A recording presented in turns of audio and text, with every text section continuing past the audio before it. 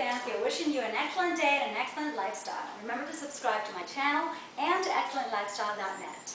Today we're going to talk about salads. I'm going to show you how to make very nutritious salads, all different, of course. Just giving you some ideas. Remember this is practical nutrition and how to be your own chef in order for the salads not only to be delicious, nutritious, and light, but also, you know what, satisfying. Because if you just eat lettuce by itself, you're going to be hungry later. We want you to have protein, carbs, and fats all together in a salad so that you can eat it for lunch or dinner. Or maybe breakfast, why not? Anyway, I'll start from the beginning. Like I said, if you just have lettuce, remember to wash it well and to dry it. I love this spinner because I have fresh salad anytime I want it. And then you could put this in the fridge if you want. Um, today we're going to use lettuce and radicchio. This is just an idea. The greener the vegetables, the better. So choose Romanian lettuce rather than the American lettuce. Something else that I like to use as a base is watercress. Watercress is great. It's really, really green. That means more antioxidants. And uh, folic acid, you know, the natural kind. Anyway, so we have the base of the lettuce, the radicchio, and the watercress. That's easy, because you know how to do that. And then I'm probably thinking that you use tomatoes. How about some red onions? Why not? They're delicious. The thing is that we need some protein to make it more satisfying. And I found that when I add some tuna, it really tastes good, and tuna is total protein, it's perfect. But you could also add sardines. Or you can make a combination of tuna and, and sardines. Why not? Um, chicken salad is really popular in the restaurants. You could use uh, chicken any way you want it. This is um, from boiled chicken. This is chicken breast. You can use turkey breast. So we're talking about really good sources of protein that don't add too much fat. Because this is no fat practically.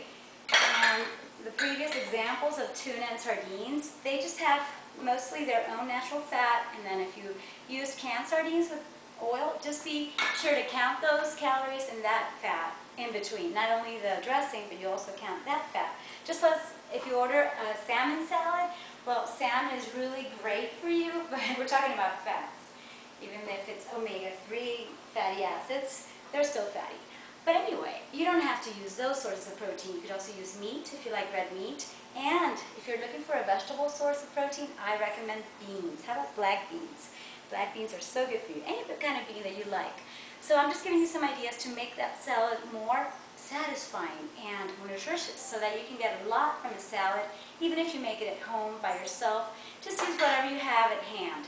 You could also use tofu. Um, tofu is a cheese made with soy. Actually, this is ricotta because I didn't have tofu. if you find tofu, fantastic.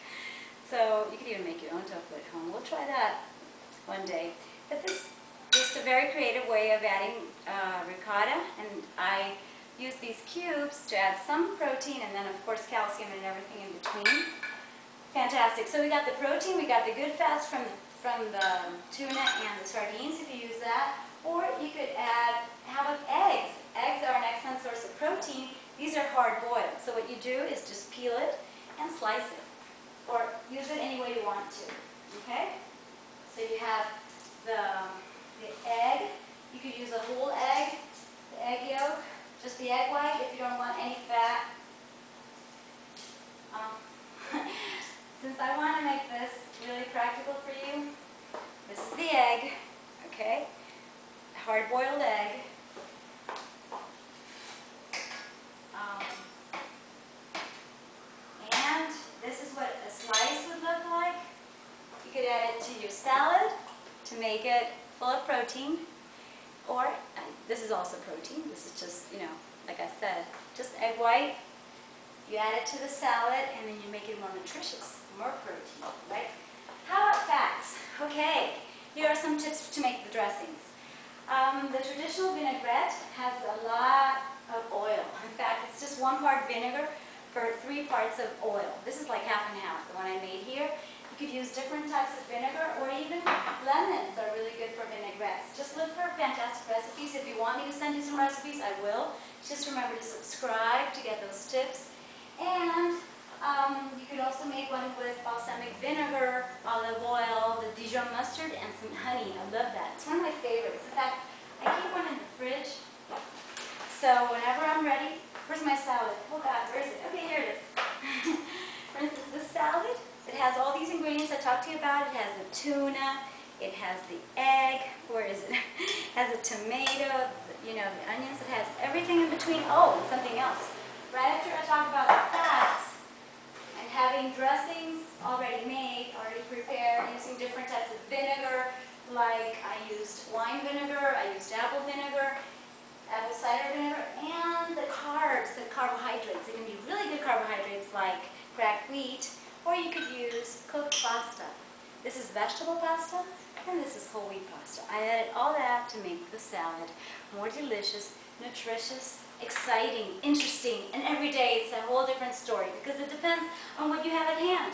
So remember, in summary, it's the vegetables, meaning the lettuce, the tomato, all that, then the protein, then the good carbs, and then the dressing that includes the good fats. So no excuses. And I'll see you soon. Take care. Bye-bye.